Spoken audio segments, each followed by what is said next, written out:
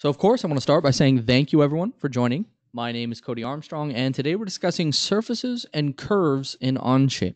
And so, the goal with this webinar is really to get you familiar with the building blocks that you'll need to create some of the more complex surfaces that we have in Onshape. So, we're going to go over surfaces and the curves, the underlying curves that drive those surfaces. So, that's the idea behind this webinar. As I always say with these webinars, I really encourage you to ask any questions that you'd like. There's a questions section in the GoToWebinar control panel. I have it up here. If you have any questions, I will do my best to stop and answer the questions before we end things today. It's going to be a short webinar. We're really going to focus solely on the curve creation tools and the surface creation tools that you'll need you know, to get some of those more complex shapes. So without further ado, let's dig in. So I want to start with just a simple agenda. Um, the goal today is really just to introduce you to surface modeling tools. So um, if you're new to Onshape surface modeling or you're new to surface modeling in general, uh, really the idea is just to introduce you into the surface modeling tools and the curve creation tools that you'll need to get those smooth surfaces. All right. Um, and I'll show you a few examples of where they're used. I have a few different examples of the various tools and situations where they make sense to use them. And I'll show you some examples of those.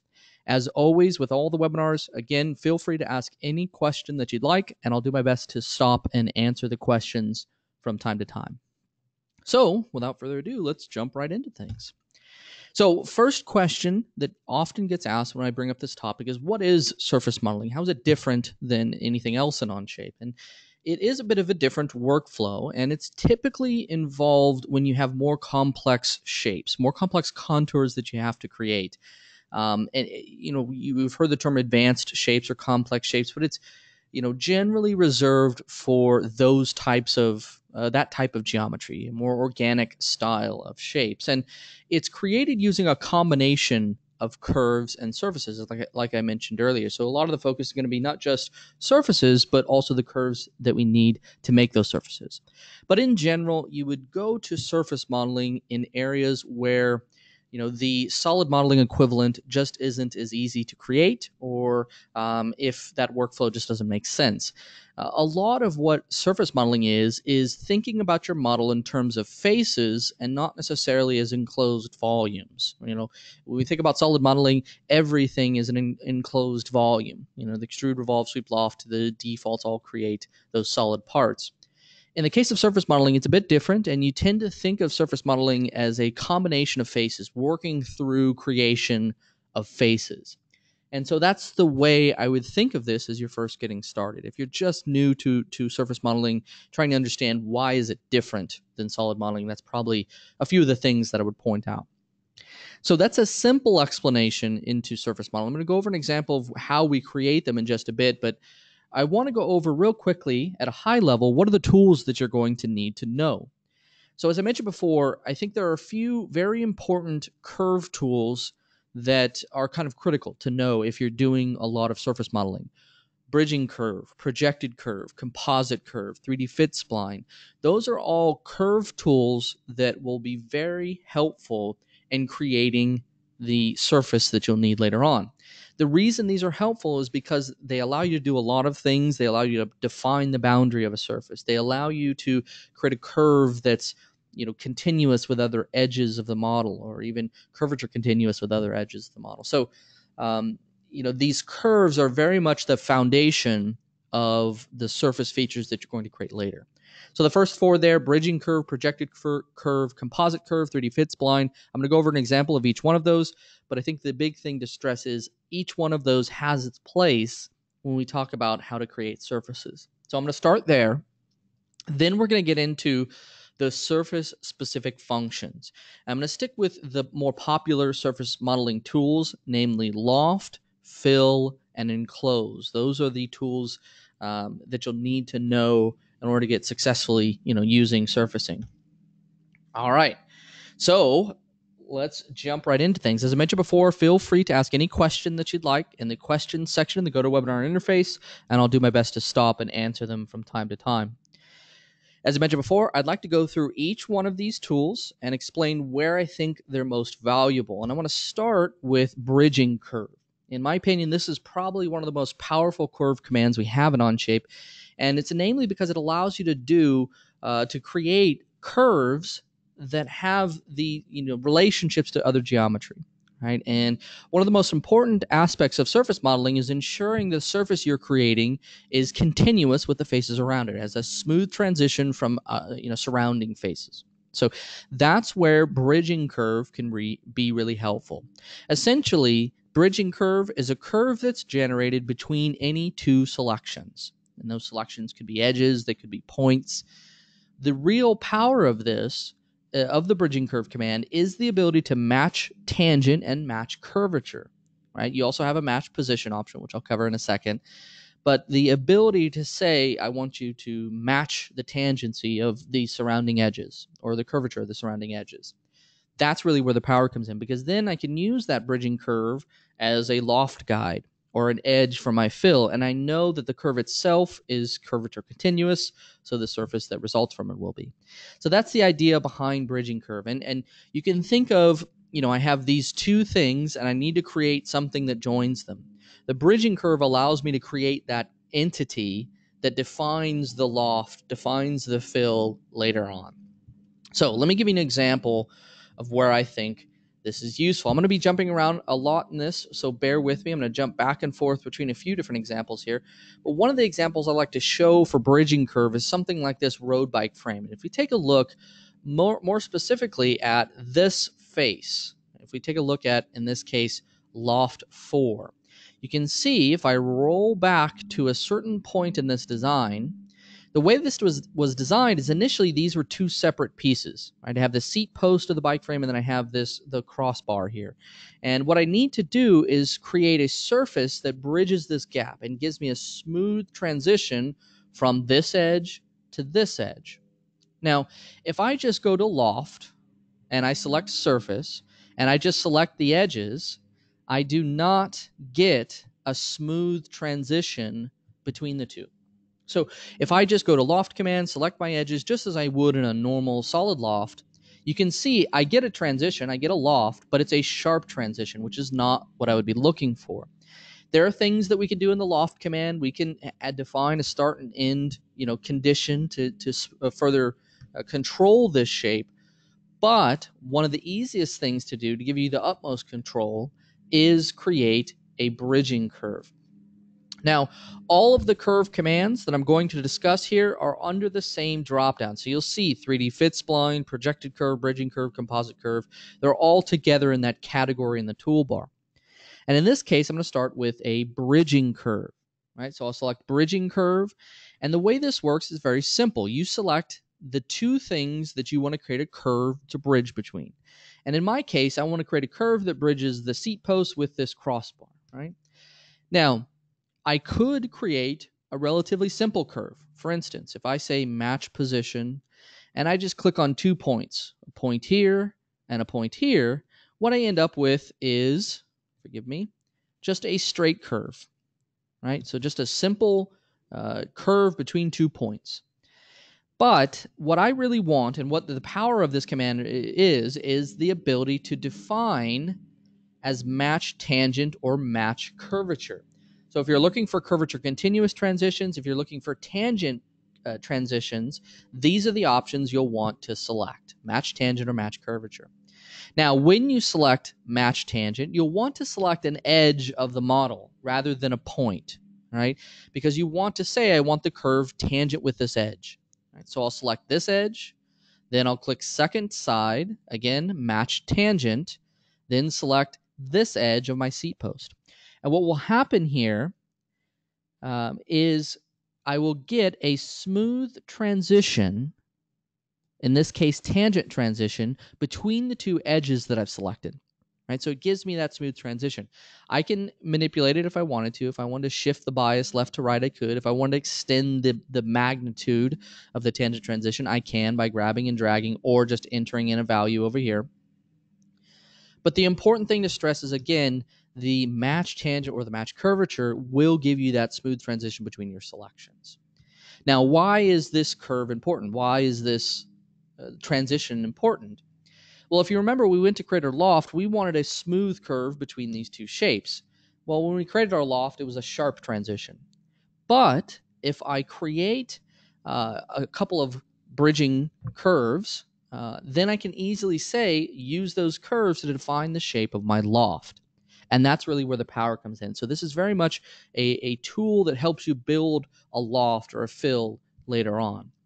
Now I'm going to do this one more time. I'm going to select bridging curve. We'll select our first side will be this edge, right? And our second side, let's say that edge there. Second side will be this edge. And what you'll see is again, I get that nice smooth transition from the two selections that I've made, right?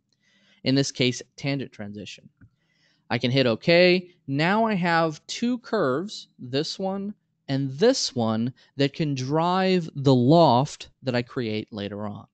Right? Now I'm going to go over loft in a little bit greater detail, but I think it's relatively straightforward if you have experience with the loft command.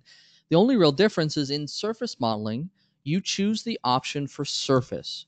And it doesn't matter whether it's extrude, revolve, sweep, or loft, there's this option at the top for surface. And that's how you take the same basic extrude, revolve, sweep, loft commands and turn them into surface parts. Right? So I choose surface and I just select the contours that I want to loft between. These are the same contours that I selected a moment ago, essentially these two edges between our bike frame. And by default, you'll be given that same sharp transition we saw a moment ago.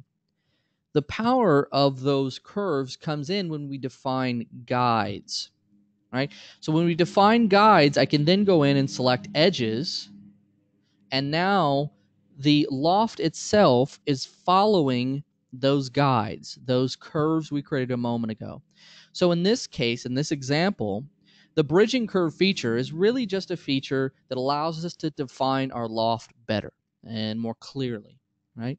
So that's the way to think of it. We're using that bridging curve as a tool to help us with guides in the loft command. And in this case, you can see I have a much smoother transition between the seat post and, and the, the crossbar here because of those curves that shape the loft, right? And that's the important thing to stress. All right, so that's a simple example of a bridging curve. The key thing to keep in mind with bridging curve is you define your first and second side, and you define whether you want it to be a tangent transition, a match curvature, or just a simple match position. Match position will give you just a straight line curve between the things you've selected. Very useful, again, for defining guides in a loft. That's probably one of the more common use cases, or edges for a fill and we'll go over fill command in just a bit. But essentially, it's a way of defining a boundary for your loft or your fill and, and controlling that shape that's created from those commands, right? So that is bridging curve. Bridging curve is a very powerful feature, something that you know a lot of heavy surface modeling users will use quite often. If you ever have a situation where you need to create some kind of a bridge feature between two things, this is probably the easiest tool for you. So that is bridging curve. Let's move on to the next one. The next tool in my list is projected curve. And essentially, projected curve creates a 3D curve at the intersection of two sketches, right? Two 2D sketches. Again, it's very useful uh, for loft guides. It's very useful for edges and a fill. It has the same kind of use cases as bridging curve in the sense that it allows you to easily define a three dimensional boundary. Um, now, projected curve is a bit different in that you are often required to create two separate sketches to drive that shape, right? And the way I would think of projected curve is if you were to take one sketch and extrude a surface, and you were to take another sketch and extrude a surface, right where they meet, right where they intersect, that three dimensional curve where those two sketches intersect is a projected curve, right? And that's essentially what you get with the projected curve command. Again, I think is most useful for defining edges for a, lo- uh, loft or, or a guide. So let me tell, uh, give you an example of how I might use this. If you take a look at the toothbrush, and more specifically the outside contour of the toothbrush, you notice this is the kind of defining uh, shape around the outside. And you can see it's a three dimensional curve, right? That curve was created using a combination of two sketches. Again, the projected curve warrants two sketches in its creation. So, what I'd like to do is roll back to a point where none of this existed and show you how you might get this shape. In this example, we have two sketches. I mentioned before, projected curve very much dependent on having two sketches and finding that intersection. And you'll see one is, you know, here on, in this case, the top. In this case, one is on the front plane. So what I want is I want the intersection of this curve and this curve. So if I were to extrude these two until they met, that three-dimensional intersection is the projected curve right? So, just like I explained earlier, under the drop down, under all of the curves, you'll find projected curve. Here, if I choose projected curve, I can select both sketches. It's rather simple. Select the first sketch, right? Click in the second sketch box, then select the second sketch. What will happen is a 3D curve will be generated at the intersection of those two sketches. Right? So rather straightforward. Again, you're just selecting two sketches and it finds that projected intersection and creates a curve at it. If I hit the green check OK, roll forward, you'll see that curve is later used to define the outside shape of the toothbrush. And that's really where it's most valuable. Now I have this three-dimensional curve that can define the boundary for my fill, or it can define a guide for my loft. Um, but I have something to select in that case. So that's another example where, again, you're using the curve to drive the surface later on. The curve is kind of the core building block for you know the more complex surface shapes that you'll create. A toothbrush is a good example of that. So again, the projected curve requires two sketches right? You're going to select one entity from one sketch, another entity from another sketch, and it will find the projected curve between the two, right? Now, one thing to stress about all of these curve commands is that you will find them, the finished curves that are generated, in their own list in the parts list. So if you ever need to come back later and look at curves, edit curves, delete curves, whatever it may be, um, you'll find them listed you know, under that under that parts list. Right? Question The two source curves need to be 2D only. yes, yes. Um, because the finished result is a, a 3D curve. Um, the prerequisites are two 2D sketches. Yes. So I think short answer is yes. All right. Next topic. So that is projected curve. Again, we're just taking two sketches and you know finding the projected point where they meet or the projected curve where they meet. So, next one on my list is composite curve. Now, composite curve when it was initially launched was a very big feature. Um, and, and, that's because a lot of times you'll need a combination of edges or curves or, or entities to drive your loft, to drive your fill, whatever it may be. And you know these were were curves that were necessary. You had to create this. To be totally honest the composite curve command isn't anywhere near as useful as it was in the past. And that's because we've made changes in commands like loft to make this much easier. Require doesn't require a composite curve but there are still some use cases for composite curve i'll go over an example of it but also explain why this is not as relevant as it once was so the way to think of composite curve is it brings together it it, it it's composed of multiple selections. And essentially, you select a series of things, could be edges, could be curves, could be sketch geometry, and it takes all of those things that you select and makes it one curve. So if you've ever been in a situation where, you know, I wish I could select this one thing, but it's actually a combination of multiple things, make a composite curve. And that composite curve will give you one selectable entity that makes up the thing that you want to reference. Again, I think the, the biggest defining feature here is it's great for defining loft profiles or defining guides for a loft. There's, again, the same scenarios that we discussed in the past. The important thing to stress is if you've ever had a situation where, you know, I wish I could select this one thing and that one thing would be enough, but I find myself having to select a, constantly three or four or five different things make it into a composite curve. Let me give you an example of why I think this is, is particularly valuable. If we take a look at um, the spray nozzle and how it was constructed, and more specifically, the handle on the spray nozzle. Um, what I'd like to look at is how the lofts were constructed on this side. So what I'd like to do is let's just roll back to a point in the design here uh, that makes sense. All right, so let's roll to here. So I'm rolling back in this spray nozzle design, and you can see at this stage in the design, the handle is just a surface.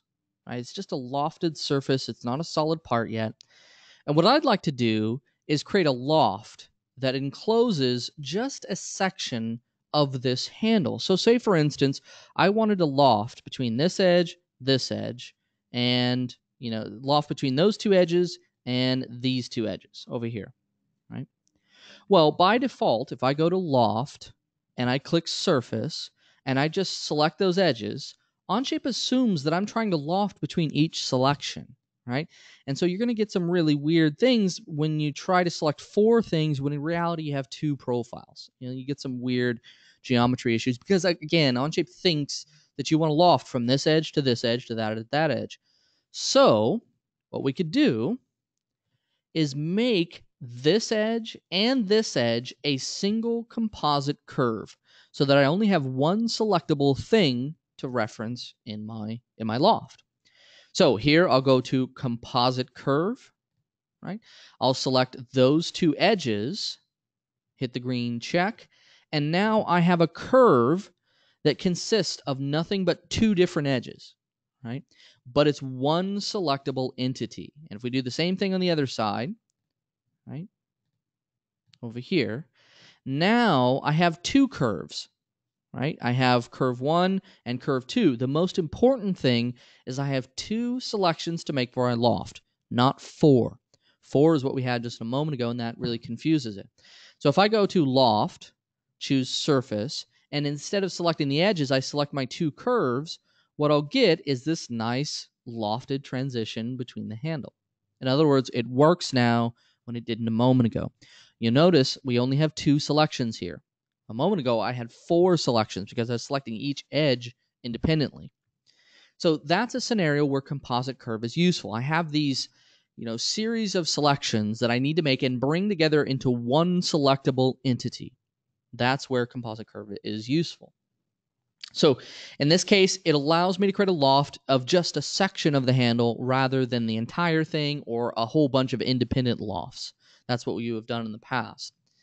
So I mentioned before, this is not nearly as useful as it was when it was first launched. And I want to explain what I mean by that.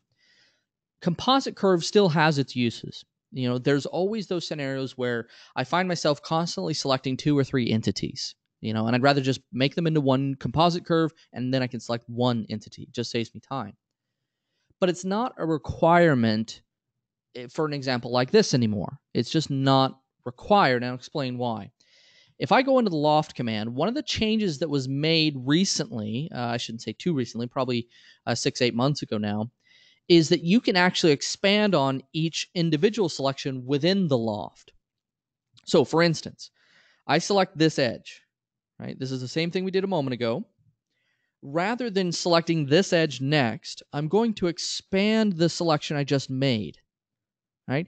Click in this box and then select the second edge. What will happen here is your one profile will consist of two selections. That's the thing that we've changed that made composite curve not as relevant as it was in the past. Essentially, we save you that step, right? And so now I can select a, you know, combination of curves or edges or whatever it may be in a single loft profile selection without having to create a curve beforehand. Now, one caveat I would say about this workflow is make sure that you collapse the selection before you move on to your second one because it's going to join everything that you select into a single selection unless you go in and expand or collapse, right? So I have two selections that make up that one profile for my loft. Now I want two more selections over here that make up the other profile for my loft. You'll notice I didn't expand, right? And that's why we're getting that error. So I'll X out will expand the selection and then select my second edge. Now that I have, have you know, both edges as part of that single selection, I get the same exact loft that we had using composite curve a moment ago. So I hope that makes sense. Within the loft command, you can now combine multiple selections. And that's really the role of composite curve for a lot of features and a lot of scenarios. Again, there are still use cases for composite curve. If you have a situation where um, you you wish that you could just select one thing rather than selecting a combination of entities, I still think composite curve is really useful in those situations. But in some cases, like this one, it's just not necessary. You can expand each selection and select as many things as you want. And it could be the same things that you would select for a composite curve. It could be edges, could be other curves, it could be sketch entities. Any of those work for these selections, right? So I hope that makes sense. The big thing to stress here is that if you're careful with the loft command, by careful I mean expand the selection out, you know, click in the box to say I want to add more to this selection and then go click the geometry you want to reference you don't actually have to create a composite curve anymore. So important thing to, to, to, to, stress there is, you know, a lot of the features in Onshape now have this ability to to take multiple selections and make them one profile for a loft uh, or one referenceable thing, right? All right, so that is composite curve. Again, it just takes a combination of curves, edges, sketch geometry, and makes it one selectable curve that you can reference. Yeah. All right, so let's move on to the next one. The next curve in my list is 3D fit spline. Like the name implies, this creates a 3D spline through a series of points that you've selected. Now, the power in this command, in my opinion, isn't necessarily the 3D spline, it's the ability to define the start and end direction because it allows you to define a vector as a direction for your 3D fit spline. The reason that's important is a lot of times your 3D fit spline, you'll want to have a smooth transition from the, the surrounding geometry. And so the ability to say, you know, select this edge and make sure that my 3D fit spline is, has a smooth transition with that edge is a really powerful thing. Uh, so let's get into an example. I'm going to go back to that spray nozzle. And if we look at the spray nozzle handle, which right now, as I mentioned earlier, is just a surface, the bottom half isn't complete. And we need to round off the bottom half of that spray nozzle handle.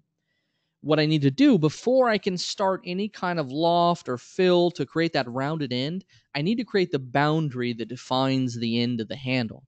And I'm going to use 3D Fit Spline to do that. Right? So I'll select 3D Fit Spline from the toolbar, and I'll select my vertices. You select points to define your 3D Fit Spline. So I'll select point, point, and point, and it will route a 3D spline through those points. Right? So that's a three-dimensional fit spline being routed through the three points that we've selected. Now, in that case, it's not, in this example at least, it's not a very smooth transition right? What I would really like is for this 3D fit spline to have a smooth tangent transition from the edges that already exist in the handle. So, in my opinion, the power of this command comes from the start and end direction. Because then I could go in and select an edge of my model and say, I want you to be tangent with this edge, right? I want you to start defined by that edge. So I click start direction I click on my edge and it gives me a, a transition, a tangent transition from that. Now, keep in mind, it can be in two different directions. So you may have to choose the opposite direction as I have here. So I'm going to do the same thing on the end. I'm going to choose in direction, rotate this around, select this edge, and now I get that nice smooth transition from my edge into my 3D fit spline, which is of course going to be very important if we're going to create a smooth end to our spray nozzle handle, right? So a moment ago, I had these real sharp transitions, wouldn't work for the end, you know, to have that nice clean shape, but start and end direction give me that ability, right? So if all you need is just a, a 3D spline that passes through points, you may not use start and end direction. But if you're in a situation like I am here, where I'm concerned about that 3D fit spline having a smooth transition, start and end direction are going to be the two most important things to define. You even have the ability to match curvature at start and end. Match curvature will give you curvature continuous transitions rather than just simply tangent transitions. Uh, if you're really looking for the utmost continuity in your surface, uh, curvature continuous is is what you'll need, and you would check the boxes for match curvature at start or end, depending on the scenario. But that is an example of 3D fit spline. Now I have this nice curve that I can reference. I can do a loft between this curve and this edge, or I can do a fill between this curve and this edge. I have something that's referenceable now to create the, the bottom piece of this nozzle handle. So that is 3D fit spline. Something again I would really stress uh, is the start and end direction. If you're concerned about having that smooth transition from surrounding faces, you'll need to make sure that there's something selected there. All right. Question Can you control the shape of a fit spline with an equation or table of points? There's no way today in the default tools to define a, a spline based on an equation or a table of points, uh, the same same situation. However, there is a custom feature. Um, ah, forgive me, I'm, I'm blanking on the name of it now. There is a, a custom feature that allows you to use equations to drive a curve. Uh, it's not a series of points; it's an equation. Um, I'm not aware of any custom features that allow you to grab a table of points. There is a curve feature that allows you to use a CSV. So if you have a CSV file consisting of a bunch of points, in theory, you could use the CSV to drive the curve shape. But neither of those commands are, are uh, in the default toolbars. They're both custom features that you'd have to add. And, and forgive me, I, I don't remember the name off of, off the top of my head. Short answer is is no, not in the standard toolbar, but there are custom features that allow you to create curves on equations and use CSVs to drive a curve, which is not quite a table, but most tables can be exported to CSV. So, hope that answers it. All right, um, moving on. So, we've discussed kind of the basic curves. I started with the curves because I think they're the foundation that you're going to need to create nice surfaces. Uh, so, I think it's important to understand that first. But now that we've covered kind of the basic curves that allow you to get those shapes, uh, what do we need to actually create the surfaces? And there are really just a few key surfacing tools that I think are, are, most valuable. Of course, we have extrude surface, revolve surface, sweep surface. You can generate all the kind of standard, you know, uh, shapes, but a lot of times it's two commands that you'll end up using loft or fill. Uh, loft, of course, just like the typical solid loft, allows you to loft between different profiles. Uh, fill allows you to select a boundary of edges and it fills that boundary with a surface. Right? Those, at least in, in my experience, are the two most common surface modeling tools that you'll need. Um, and, and you know those are really the the kind of keys to creating some of the more you know nice you know um, complex contours that you're going to need. Now, there are a few keys to Loft that I would stress. Loft is fairly straightforward. You select two profiles, it lofts between them. But the the power of loft isn't necessarily in just the simple lofts it's the ability to define a path it's the ability to define guides for your loft it's the ability to define end conditions for the loft that's really where you get the the nice ability to blend in with surrounding faces so I'm going to go over an example of this. I've already shown you guides. Uh, we went over guides in the last example, you know, where I can define guides as, you know, uh, the bridging curves that I did earlier. But I didn't show you loft with path, and there are other CAD software applications that have this in different places. I know, um, you know, some CAD software has this as a sweep command where you can, you know, sweep and then choose your um, your guide for your loft. What I would like to do is show you how you might do something similar in in Onshape. So let's roll back here. And what I'd like to do is loft between two sketches, sketch four, sketch five, and sketch four. And this will create that. Forgive me, I, am calling it crossbar, but I'm not sure that's the right name. But it, the crossbar on the top end of the bike frame here. And what's most important about this is it's not a straight transition, right?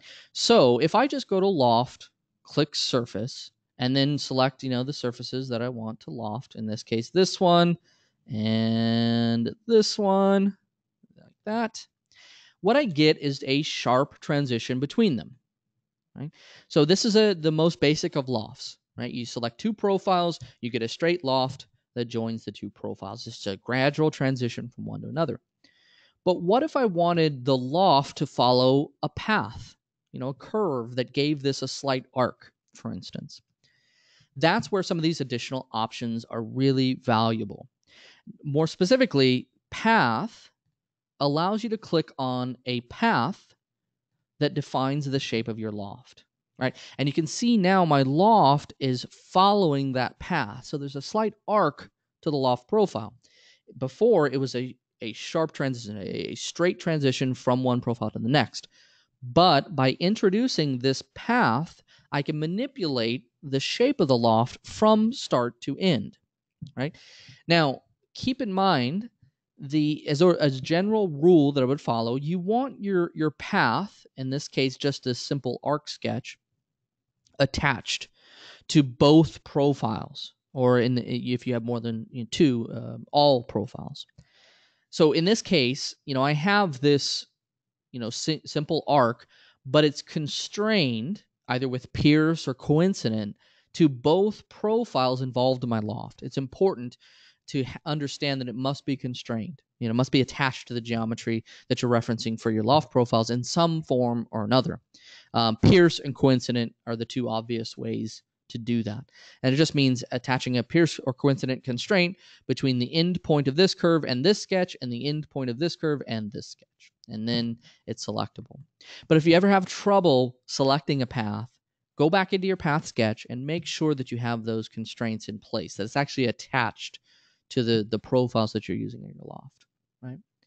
Top tube. Yes, you're right. This is the top tube that I'm making here. So in this case, the, the arc shape is given by the path. I know in other CAD applications, this is like in a sweep command in different places, but essentially gives you the same kind of function. You, you want to loft between two things and also follow some kind of path, right? So that is loft. Uh, as I mentioned before, um, our surface modeling tools are just a part of uh, the normal features. So extrude, revolve, sweep, loft all have an option at the top to choose surface. And you may have seen me doing this at different points. I click surface, then go in and make my selections. By default, if I just click loft, it assumes that I want to make a solid loft. It isn't until I go click surface and then go select my references that I actually get a surface loft. Important distinction. And this is that way, by the way, for extrude, right? You'll see surface, revolve, same thing, surface here at the top, and sweep right? All of the standard modeling tools have that surface option at the top and allows you to create a surface equivalent of whatever that, you know, that feature is. So that's the most basic, I would say, you know, probably the one of the more common surface modeling tools you're going to need is just a loft. Um, and, and, the ability to control it with guides, like I showed you earlier, the ability to control it with, um, you know, paths really allow you a lot of flexibility. The loft command is is uh, very, very powerful in what it can do. Uh, there's a lot of options in it. We've discussed most of them. So, guides, I showed you guides earlier. You can also combine guides and continuity. So, I can say it's tangent to profile and has a guide that drives it, or it's matching the tangency with the surrounding selections and it has a guide associated with it. Uh, so, these aren't mutually exclusive, and you can really do quite a bit with all these different options. Now, one thing that I would say, one thing I would stress is it's often easiest to just start with a start and end condition to your to your loft because that's easiest to create. I can literally just choose match tangent and it makes a tangent with the selection. If these two don't work, if these two don't give you the exact shape you're looking for, then you're going to need to look at guides. You're going to need to look at a path. You're going to need to manually create some kind of reference, right? But start and end profile conditions are probably the easiest way to shape the loft around the, the surrounding edges uh, without a lot of extra effort, right? Bridging curves need to be created in the example I, I gave you uh, earlier, right? Uh, path, that path sketch, that's a sketch that had to be created. So those are manual steps in order to to create the loft shape that I'm looking for. But if you can get away with only using a start and end profile and the shape looks, you know, what like what you're looking for, you save yourself some time. Right? You don't have to actually go in and create any kind of references. Right? All right, so that is kind of a simple introduction into Loft. Again, Loft with the ability to define continuity, with the ability to define guides, with the ability to define a path, really is kind of a Swiss Army knife of surface modeling. It really is um, allows you to do a lot of things, a lot of things that would be multiple commands in, in other you know CAD applications. But it has its limitations. Um, one example is you really can't use loft if you have, say, seven edges that you want to enclose. Yeah. That's where a scenario where fill is the tool that you'll need to use. So let's jump into that. I'm going to go back into my slide just briefly here. And the fill command is a, this is what you'll use if loft doesn't isn't possible. And then, you know, loft is really a from to thing where I select from this selectable entity to this selectable, generate this loft. But fill is a different use case. Imagine that you've designed all these lofted edges and, and you know extruded edges, and now you just have this gap that you need to patch in with a surface, right? That's where fill is useful. Loft isn't useful in this example. Now, it's really you know you have to have a series of edges to define or series of edges or curves or other things to define the boundary of the law of the fill right? And you can select as many edges or curves or whatever it is that you have as your reference to define a fill. So i could have 15 different edges that define the boundary that makes up my fill. Um, you know again so think of it that way. You take this open-ended surface that has this hole in it and I want to patch that hole with a surface. And fill is the most easy way to do that. Now, one very powerful thing about fill is, and this is very similar to loft, you can define the continuity. Per selection, you can define the continuity. So, the reason that's important is you may have 15 edges in your fill, but you really only need a smooth transition around a certain few edges, right? Everything else can be a sharp transition. A good example is that ice axe that you're seeing there. I would expect the filled surface to have a smooth transition with the, the straight base, but the top has a sharp transition, and that's okay. So in this example, I would define match tangency for those edges, and everything else would be position. So it's very similar to defining continuity in the loft. You just say, I want tangent or I want match curvature, but you can do it on a per selection basis. And that's really the key to, to point out. The last thing I would mention about this is if you're creating a fill and that fill creates an enclosed volume of the part, it will automatically convert it to a solid. That's one of the more common questions I get when we talk about surface modeling is, you know, I've got all these surface models, everything looks good, but it's still just a surface. I want a solid enclosed, you know, from my volume. If you use fill and the last step in that model is filling in a surface, it will enclose it for you. It will convert it to solid for you. So just a caveat to, to mention, I will show you enclosed next. So um, if you want to do it as a manual step later, you can. But it's important to keep in mind the fill command does that as a as a byproduct of creating an enclosed volume. So it only works, of course, if the fill encloses everything. If it's still an open surface at the end of that fill, then of course you need to do a few more. Um, okay, so take a look at this ice axe right? And if we roll back, right, let's go to, it's fill four. So let's roll back to a point where we're filling in these surfaces. So I'm rolling back to this point in my design. And really, this is just a series of lofts, um, fills. This is just a simple extruded surface.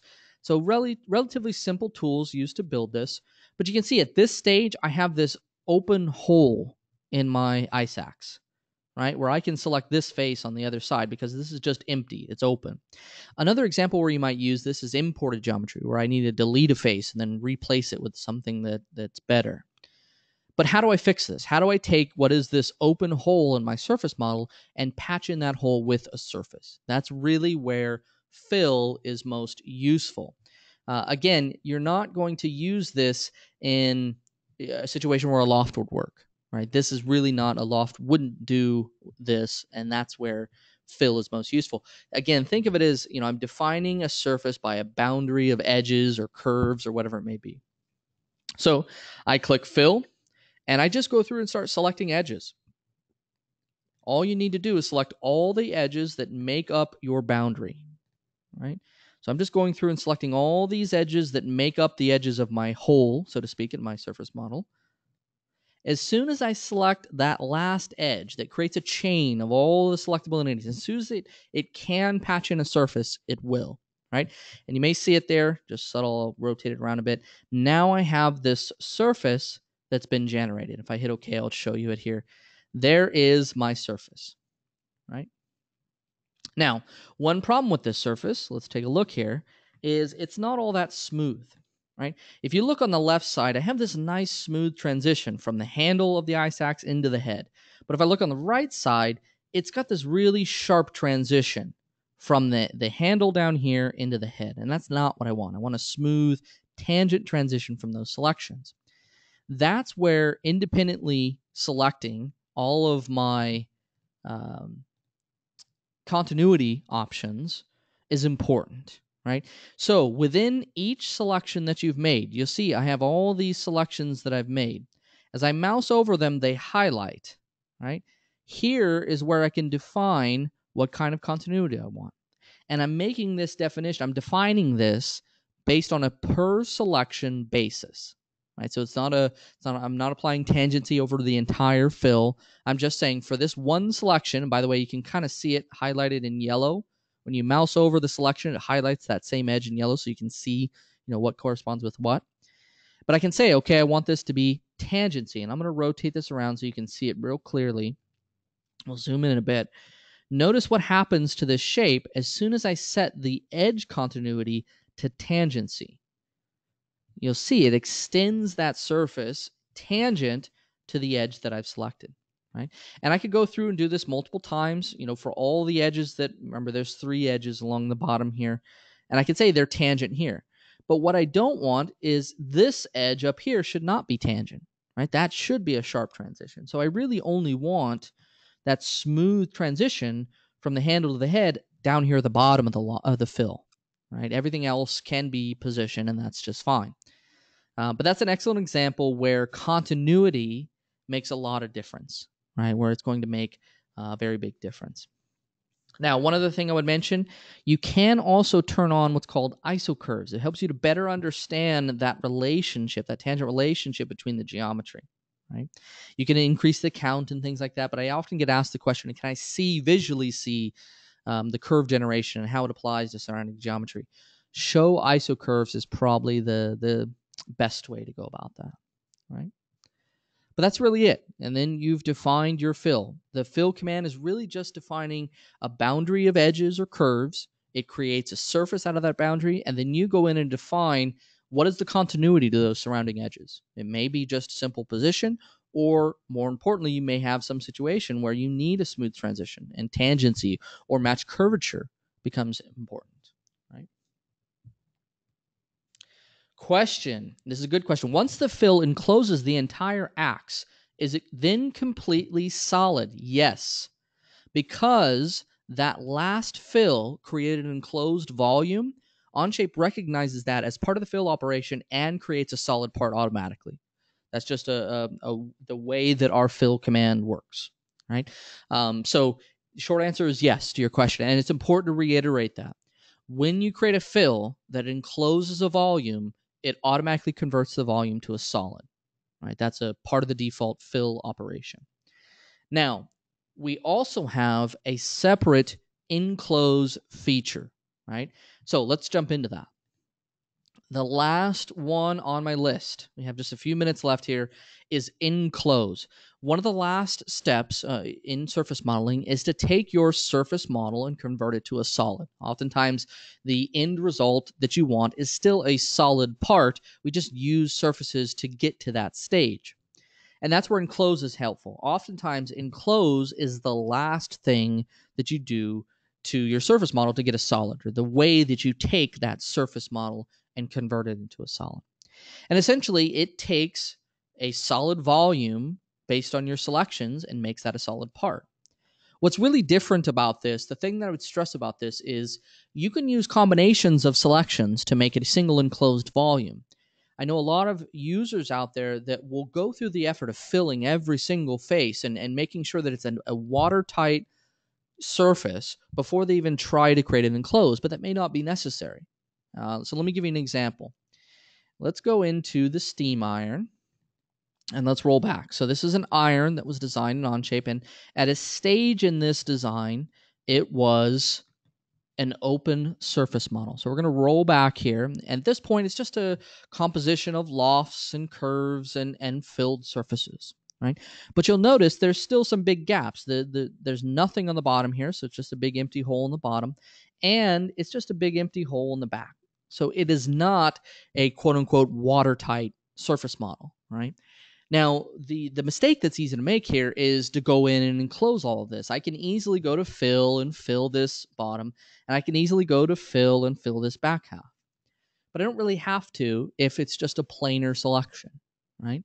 What I can do is use a combination of references, including planes. So if we look closely, I have a plane right at the bottom here, and I have a plane that represents the end as long as those planes encapsulate the volume, you can use them for enclose. I don't have to create that fill at the bottom or that fill in the back, right? So let me explain what I mean. First off, you'll find enclose under thicken.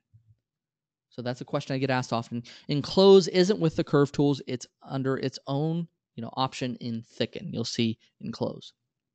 Now, you can select faces, you can select an entire surface. I find it's easiest if I need to select a whole surface just to select the surface from the parts list rather than going through and clicking a whole bunch of individual faces. Now, I've just selected this one surface, which is every all these faces here, but of course there's some big holes in this, right? So in this example, I'll select this surface. That's a separate surface that makes up my enclosed volume. Then I'll select the planes that represent the ends too. As I mentioned before, you can also use planes. So I'll select this plane and this plane, right? And that will create a solid enclosed volume. Once it finds that given your selections, it an enclosed volume is possible, it converts it to a solid. If I hit the green check here, you can see now I have a solid part that was just an empty surface a moment ago, Or just a, a bunch of random surfaces together a moment ago. I, the big thing I would stress here yes, you could have gone through and filled the bottom, filled the back, and made sure that everything was watertight before you tried to enclose. And that works fine. And you could enclose very easily. But you may not have to. Uh, if you have a plane, if you have a flat face, if you have something else, you can select that. And it will take the combination of your selections and look for an enclosed volume. And if it finds one, it converts it to a solid, right? So that is the enclosed feature. Um, this is oftentimes the the step that you go from being a surface model to a solid, and you may have subsequent solid modeling features from this point forward. But it's kind of an a before and after. You know, before before I do a lot of surface modeling to build up to a certain point, then I convert it to solid, and from that point forward, I'm using a lot of solid modeling on that. But oftentimes, the enclosed kind of represents the end of the surface modeling, at least traditionally. Not always, but um, in most situations, it's kind of the end of the surface modeling and the start of the solid modeling in the in the part itself, right? And if you can see, we enclose this, but then we go through and create a whole bunch of extrude features and things like that. Normal solid modeling features that come up afterwards, right? All right, so that is what I had planned for you. We have a few minutes left. I want to leave things open for any outstanding questions. Uh, one last thing that I want to mention before we wrap things up here.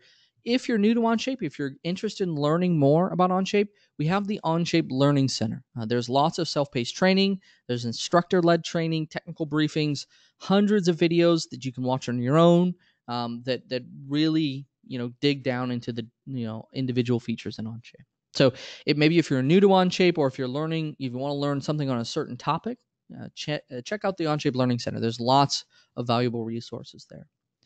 All right, so I am going to stick around and answer any outstanding questions you have. So please make sure to type them in. We have just a few more minutes, about five, six minutes here. I'll leave things open. But that's it, everyone. Thank you and have a good day.